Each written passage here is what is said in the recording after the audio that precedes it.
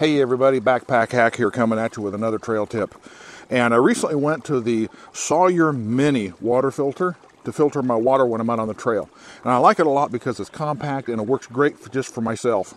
The only problem I have with it is when I fill this bladder, my hands in the bladder are covered with unfiltered water. And what I'm afraid of is when I filter the water into another container, that unfiltered water will somehow get into my filtered water and basically cross contaminate it. So, to prevent that, I made one of these. This is a little piece of plastic that I simply slide over the straw, and now I don't have to worry as much about cross contamination.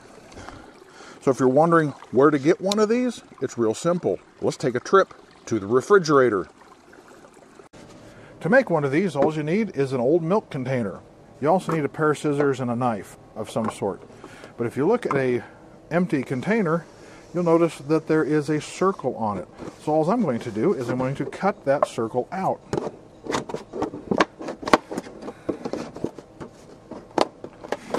rough cut it at first.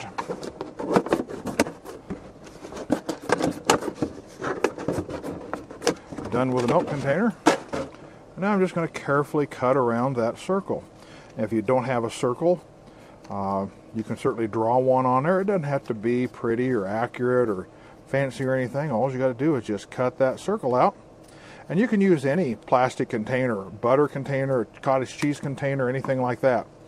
Then all you need to do is take your knife and cut a small hole in the middle. And that's all you have to do. Now, some of these have a detent in them, and those are the ones I prefer. It gives me a little bit of sh- watershed. And this is the one I prefer, but you can use it out of flat if you wanted to. Um, like I said, you can use a butter container, a um, cottage cheese container, uh, anything like that, as long as it's thin plastic, and you can make them as many as you want, as often as you want, basically for free, because you were going to throw this away anyway, weren't you? So this is Backpack Hack coming at you with another trail tip.